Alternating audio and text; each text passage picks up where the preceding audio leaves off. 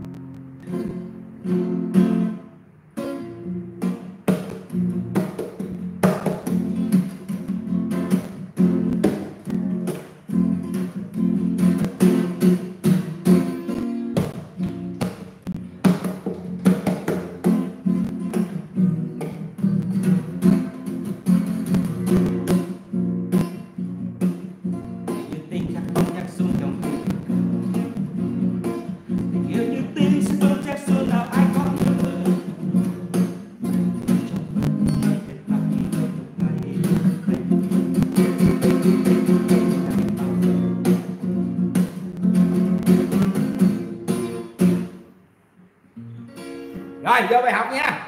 Cũng được sáu bảy người rồi. Chút xíu nữa mình sẽ làm một bài à, giấc mơ chapi cho các bạn sẽ nghe nha.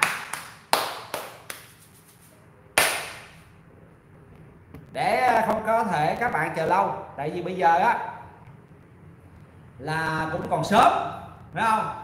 Các bạn nói buồn ngủ thì tôi không tin chapi chapi vô bây giờ có IC 555 rồi nè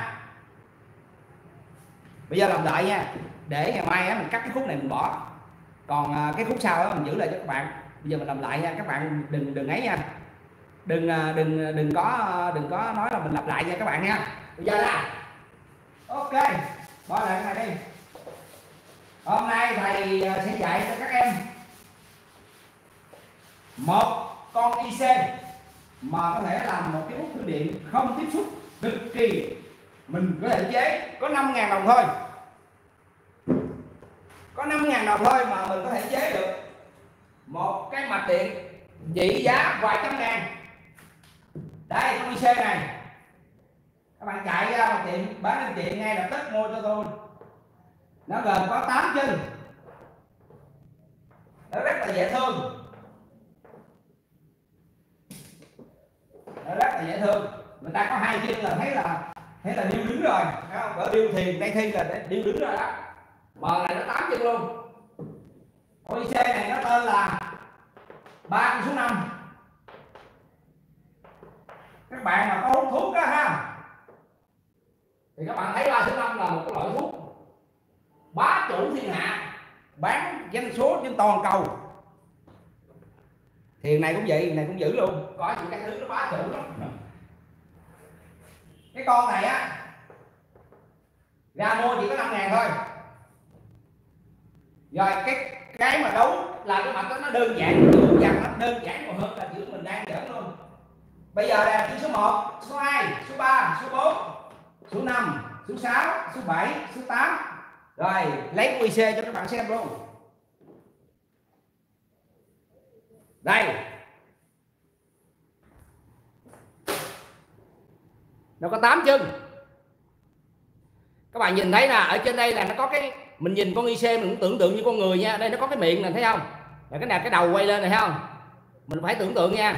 Mình mình mình làm tưởng tượng, mình phải có óc tưởng tượng nhiều. Đây các bạn thấy không? Cái hàng chữ lên đây nè. Nó để đánh dấu cho các bạn là chân một, chân hai á, là nó nó đánh dấu cái khuyết này nè. Cái này là cái mỏ nó đó, là cái đầu đó. Mình nhìn là mình biết con IC là cái đầu nó quay về hướng nào rồi các bạn biết không?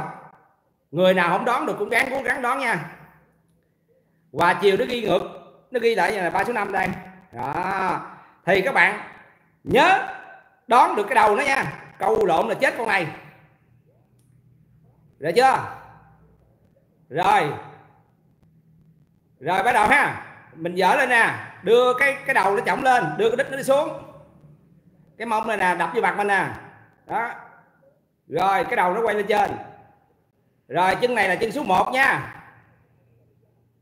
chữ số 1 bẻ nó ra luôn nè.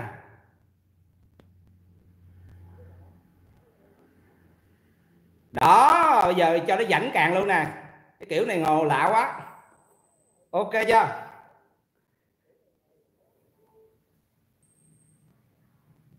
Đây.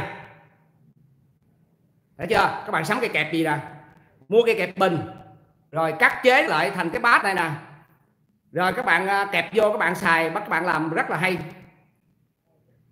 Đó cái bát này nha các bạn mà học điện tử theo ô long mà trăm năm nữa các bạn nào theo ô, ô long thầy ô long thầy giáo mò 100 năm nữa thì thầy có cái gì thì dạy cho các em cái đó.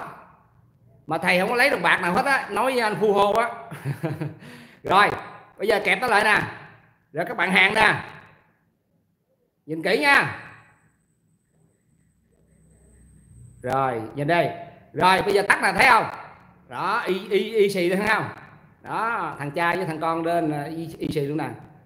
Rồi mình giảng tiếp nha các bạn nha. Nắm tới đây rồi nha. Chưa chưa chưa quên nữa. Cái chân này nè. Cái điểm khuyết nè. Đây cái điểm khuyết nè. Đó gần gần lại. Điểm khuyết nè. Một hai ba bốn một, hai, ba, bốn. Chương số 1 chương 2 số 3 số 4 số 5 số 6 số 7 số 8 rồi, ứng như trên kia luôn. Mở lên rồi đó.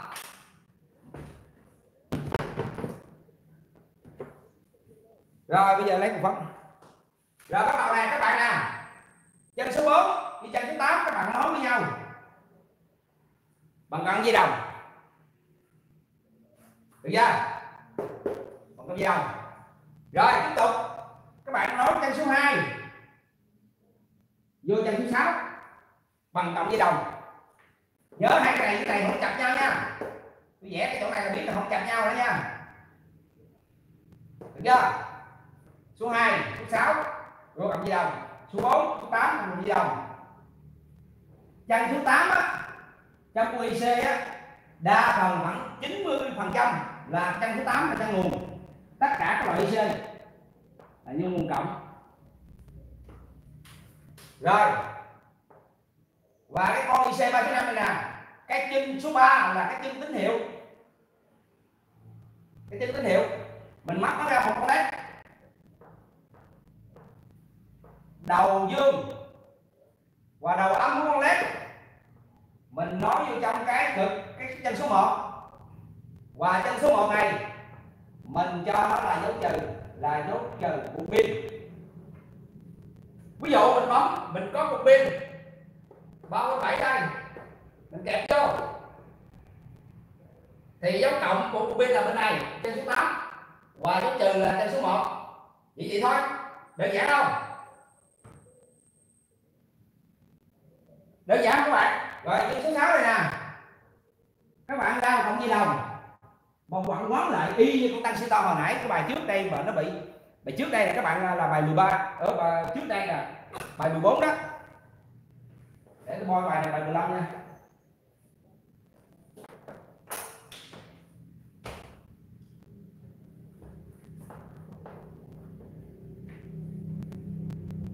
Ra số 6 số 2 ra cộng với đồng số 8 số số 4 vô cộng nguồn bỏ con xe này đi, tên nó còn biết rồi, khỏi cái nữa.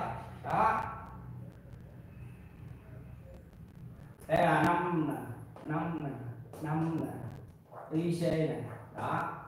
Rồi, các bạn thấy không? Dễ hiểu không? Các bạn nào hiểu rồi, bấm số 1 các bạn hiểu rồi, bấm số 1 để ông Long biết là các bạn đang hiểu. Con nét sáng lên.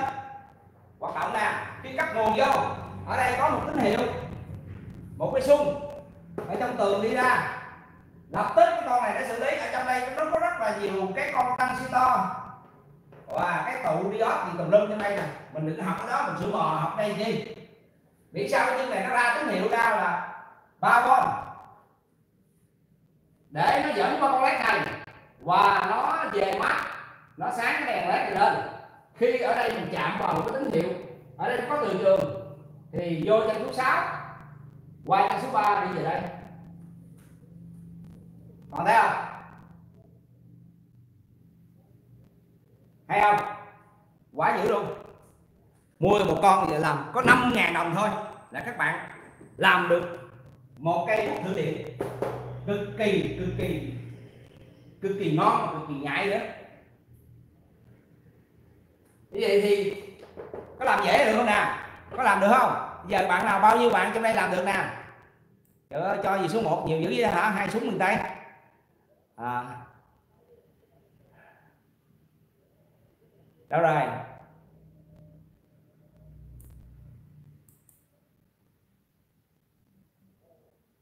Ok vậy các bạn làm được nha. À. Bạn. xúc mồ hôi luôn.